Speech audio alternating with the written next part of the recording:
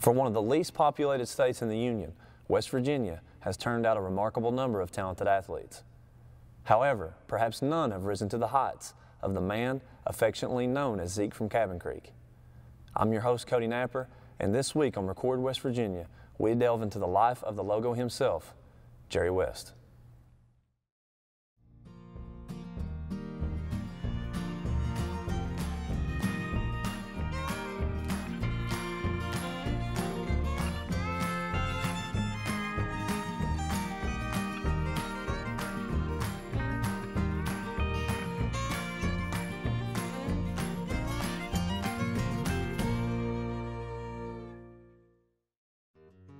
Jerry West was born into poverty on May 28, 1938, in the small community of Chelyan, West Virginia, on the banks of the Kanawha River.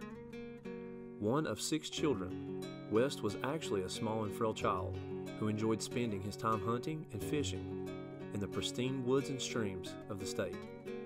He also enjoyed basketball. West could often be found outside, regardless of the weather, shooting on a makeshift hoop nailed to a neighbor's storage shed by the time he reached East Bank High School, West was a proficient jump shooter, but was far from a standout due to his stature.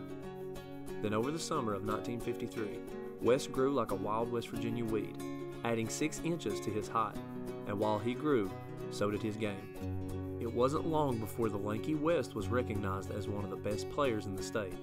He led the Pioneers to a state title in 1956 and was named the state's Player of the Year after averaging more than 32 points per game. This is the Golden Blue on the attack against Penn State. Now Bob Smith drives down court. An overhead pass to Jerry West, and West scores. College teams all over the country tried to lure Jerry West to their teams. But ultimately, the now 6'3 guard chose to stay close to home and play for the West Virginia Mountaineers. In those days, freshmen weren't allowed to play varsity basketball, but West led his freshman team to a perfect 17 0 record. To West, and he's up the middle for two quick points.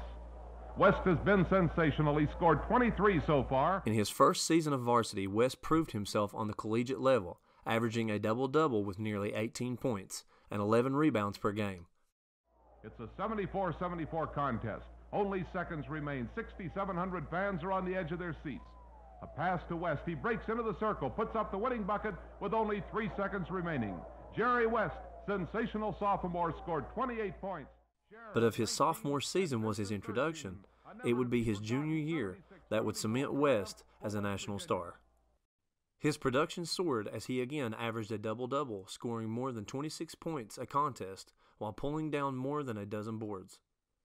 In the NCAA, West started to show a type of performance that would earn Zeke from Cabin Creek another nickname in the future, Mr. Clutch.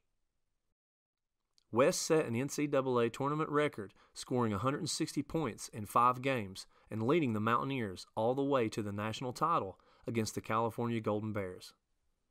Finally, a feed to Jerry, and he powers down the lane for another score. WVU's smashing triumph puts it in the championship game. The national championship is at stake as West Virginia gets the opening tip against California. These teams have beaten every one of their paths. Bob Smith misses, but the dazzling Jerry West follows up to score. WVU would come up just one point short, losing to Cal 71 70. But despite the loss, West was named the 1959 Final Four's most outstanding player. The next season, West again saw his numbers increase, averaging just over 29 points and 16 rebounds a game the Mountaineers would lose in the semifinal of the East region of the NCAA tournament, and West would begin preparing for the 1960 Summer Olympics. West, along with another future NBA star, Oscar Robertson, co captained the American basketball team at the 1960 Olympics. In eight games, West scored 114 points, and Team USA cruised to the gold medal, winning games by an average score of 102 to 60. And a dart from the Minneapolis Lakers selected West with the second overall pick of the 1960 NBA draft. The Lakers relocated to Los Angeles shortly after selecting West, and the shy, reserved country boy would soon be playing basketball in the shine of Tinseltown. As a rookie, West averaged nearly 18 points and 8 rebounds, earning himself his first of 14 All Star selections. one for each year of his career. Great man to have at the foul line. Coming into this game, in six games, Jerry had scored 223 points. Nelson's third foul with 4.17 to go. And now the Lakers within four points. A total of 41 for this superstar. Superstar he is, and the Celtics are doing everything they can. Despite his success and heroic late game shots that earned him his Mr. Clutch moniker, there were some struggles for the All Star. Excuse me, Chris. The Celtics double teaming. They would have rather have Egan or Erickson take the shot than West. And time has run out, and the Boston Celtics have done it again. Another jewel in that crown. I want to say that Jerry West was absolutely fantastic. That was one of the greatest exhibitions I ever saw in my life. Uh, I, I can only speak for Red because I had to play him all through the series. And Jack, I tell you, I had to say a little prayer every time he got the ball. By the start of the 1971-72 season, West had established himself as one of the league's premier players. But despite having made the NBA Finals seven times and even winning a Finals MVP in 1969, West had zero championships to show for it. Determined to remove the championship chip from his shoulder, West, along with Wilt Chamberlain, led the Lakers back to the NBA playoffs, where they faced the defending champion Milwaukee Bucks in the conference finals. This game pitted some of the league's all time best players against each other, as Chamberlain faced off against Kareem Abdul Jabbar, and West went head to head with his old Olympic teammate, Oscar Robertson.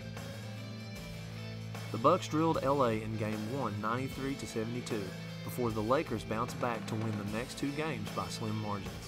Milwaukee again hammered Los Angeles in game 4. In game 5, the Lakers grabbed control of the series behind a double-double by West of 22 points and 10 assists. LA eventually defeated the Bucks 4 games to 2, while Kareem and Chamberlain had some colossal battles in the paint during the series. West clearly outplayed Robertson averaging 22 points and 8 assists. In the finals, the Lakers met the team that had cost them a championship in 1970, the New York Knicks. This time, LA would have no trouble defeating the Knicks 4 1 to claim the first and only NBA title for West as a player.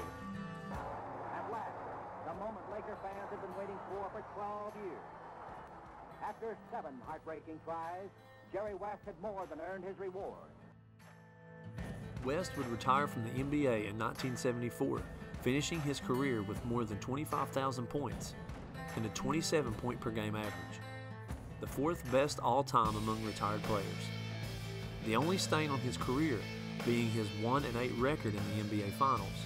But West would find more final success in his career as an NBA executive, helping to guide the Lakers to four championships as the team's general manager between 1982 and 1994 and helping the team capture another title in 2000 as its vice president of operations. West has continued his front office success by being an integral part of the Golden State Warriors executive board that helped the Warriors win championships in 2015 and 2017. Currently, Jerry West serves as an advisory consultant on the executive board of the Los Angeles Clippers. Two seconds, one second. West throws it up. He makes it. West threw it up and makes it. Over half court. The ball game is tied. In 1969, the NBA turned to designer Alan Siegel to create the new logo for the league. What Siegel turned in was the instantly recognizable silhouette of a player driving down court against a red, white, and blue background. That shadowy figure was none other than Jerry West. And while many players have been the face of the league, only one has been its logo. If you enjoyed this video, please give us a like, share, and be sure to subscribe.